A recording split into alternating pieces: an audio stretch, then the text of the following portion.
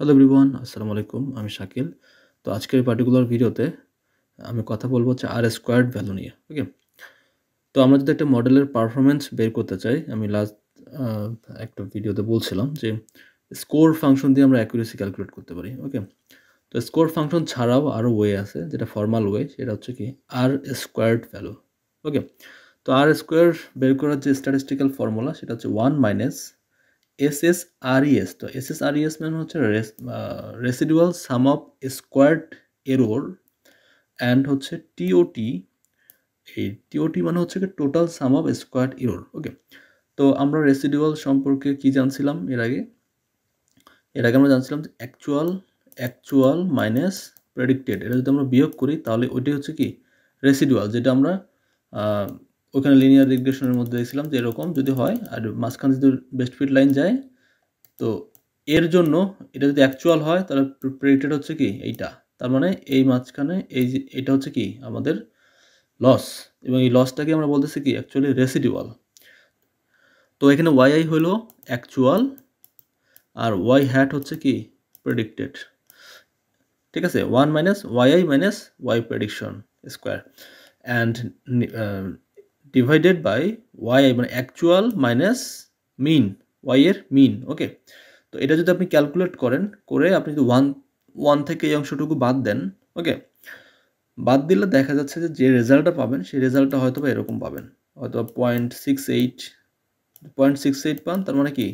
Sixty eight percent accuracy যদি nine one পান, তার মানে কি? Nine one percent accuracy point thirty eight পাইলে thirty eight percent accuracy okay so এটাই মূলত আসলে আর স্কোয়ার্ড ভ্যালু সো আপনাকে যে কাজটা করতে হবে one minus residual sum of square এরোরকে আপনাকে টোটাল সাম অফ স্কোয়ার ইয়ারতে ভাগ করতে হবে এবং এখান থেকেই মূলত আর স্কোয়ারের ভ্যালুটা আপনি পেয়ে যাবেন বা অ্যাকিউরেসিটা আপনি পেয়ে যাবেন ফর লিনিয়ার রিগ্রেশন ঠিক আছে?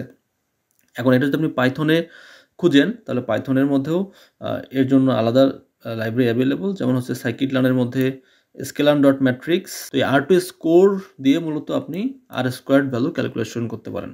আরেকটা ওয়ে আছে যেটা আমি প্রিভিয়াসলি দেখেছিলাম, যে রিগ্রেশন ডট স্কোর হ্যাঁ এক্স মানে এক্স টেস্ট ওয়াই মানে এক্স আর ওয়াই যদি আপনি বলে দেন, অথবা এইভাবে আপনি বললে অ্যাকচুয়াল মানে প্রেডিক্টেড যদি আর টু স্কোর বলেন, তাহলে অ্যাকচুয়াল মানে প্রেডিক্টেড বলতে হবে, আর যদি আপনি স্কোর বলেন, তাহলে এক্স আর ওয়াই বলতে হবে।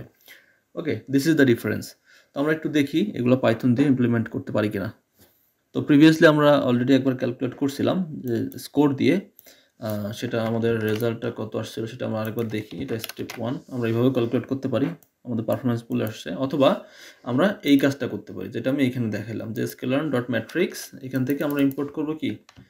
এখান থেকে আমরা ইম্পোর্ট করব R two score okay so R two স্কোরের ভ্যালুটাই মূলত আসলে আমাদের পারফরমেন্স সো এখানে বলতে হবে অ্যাকচুয়াল অ্যাকচুয়াল মানে কি? এক্স সরি ওয়াই এটা হচ্ছে অ্যাকচুয়াল ওয়াই আর প্রেডিক্টেড তার মানে কি? আর easy dot predict predict X এটা হচ্ছে কি? প্রেডিক্টেড দেখেন, এই ভ্যালু আর এই ভ্যালু কি? একদম সেম না? একদম সেম এবং আপনি যদি এটা এভাবে এই এই কোয়েশনে বসায় যদি আপনি ক্যালকুলেশন করেন, যে ওয়ান দিয়ে এটা মাইনাস করেন, ঠিক সেম ভ্যালুটাই পাবেন, যেটা আমি প্রিভিয়াসলি দেখাইলাম। ঠিক আছে?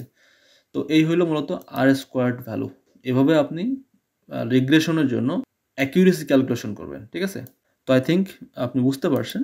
নেক্সট ভিডিওতে আবার দেখা হচ্ছে ইনশাল্লাহ সে বন্ধু ভালো থাকবেন। আসসালামু আলাইকুম। সো গাইজ এআই কোয়েস্ট আমাদের একটি কমিউনিটি এবং এই কমিউনিটিতে আমরা কিছু লাইভ কোর্স অফার করি। বর্তমানে আমাদের যে লাইভ কোর্সগুলো অ্যাভেলেবল আছে, তাদের মধ্যে অন্যতম হচ্ছে Python for everybody with web scraping then data analysis then data engineering then Django machine learning deep learning এবং এডাব্লিউএস তো আমাদের কোর্স মডিউলগুলো আসলে অনেক জোস এবং আমরা ট্রাই করি সব কিছু হ্যান্ডস অন দেখানোর জন্য।